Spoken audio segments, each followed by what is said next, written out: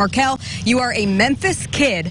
What's it like to have this opportunity with your hometown team? It means a lot to me. Uh, you know, growing up in Memphis, it's something that got dreamed of. Playing for the Tigers, playing for the Grizzlies, watching guys uh, do work in your city, and, and for me, man, I'm a, I just label myself a real Memphis guy, real gritty guy. You know, for me to to be playing with the team, grit and grind type team, uh, just means the world. So when did you find out, and how did you find out? Uh, I just found out through text through my agent uh, right after uh, campus uh, in Vegas this past weekend.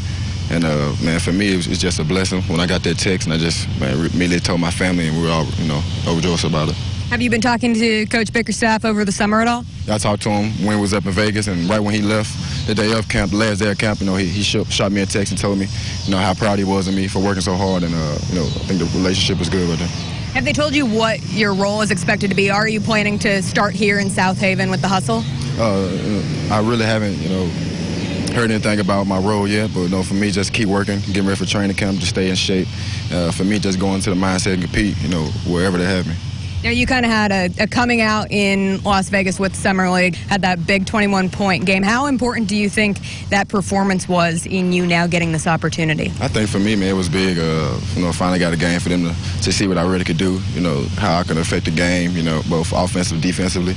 And I think uh, that was a game that really, you know, broke out for the guys to see me.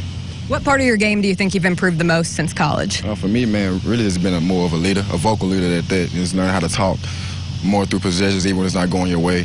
And uh, for me, just uh, create more, more space on my shots and just making more plays for guys.